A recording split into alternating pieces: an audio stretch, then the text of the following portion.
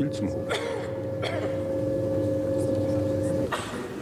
Meine sehr verehrten Damen und Herren, Herr Präsident, unsere heutige Aussprache widmet sich der aktuellen Entwicklung im Nahen Osten. Und eigentlich ist die Entwicklung dort so, dass wir uns regelmäßig über die dramatischen Entwicklungen und die aktuellen Erscheinungen austauschen müssten.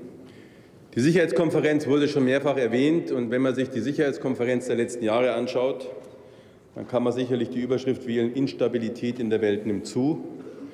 Die Unberechenbarkeit ist eine gewisse Konstante geworden. Und das beginnt beim Verhältnis USA-Russland. Da nehme ich überhaupt keine Wertung vor, wer hier wem näher steht, sondern es geht darum, dass schlicht und ergreifend das Vertrauen zwischen den beiden Mächten größer wird.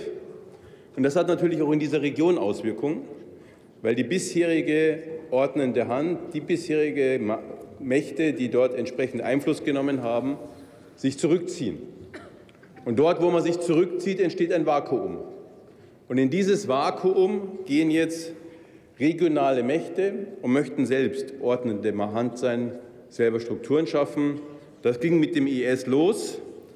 Und wenn man sich die Situation, die momentan medial sehr stark dargestellt wird, in Syrien anschaut, dann kann man zu Syrien aktuell nur sagen, dort bilden sich momentan aus dem Konglomerat der Türkei, aus dem Iran, Kurdenthematik und Saudi-Arabien Entwicklungen und Koalitionen, die zumindest ich und frage, ob jemand anderes dieses in dieser Form vorausgesehen hätte, die man für gar nicht möglich gehalten hätte, die hier eigene Interessen vor Ort haben und ihre Strukturen schaffen.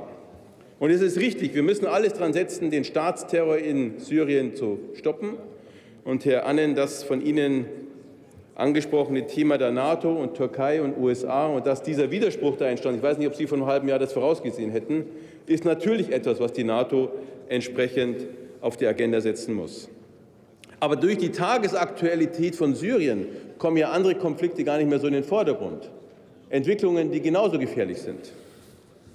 Der Iran wurde angesprochen und natürlich wollen wir das Atomabkommen beibehalten, aber gleichzeitig müssen wir den Iran ermahnen, eben nicht ein falsches Spiel weiterhin gegenüber Israel, ein falsches Spiel gegenüber den Golfstaaten weiter zu betreiben.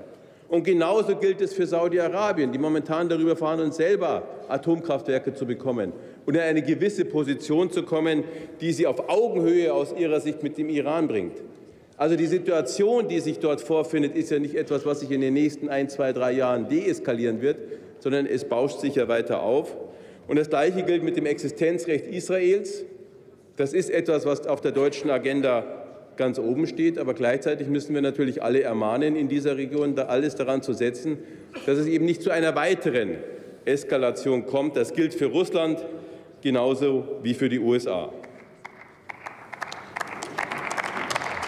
Die NATO hatte ich angesprochen, und das Gleiche gilt für die Europäische Union.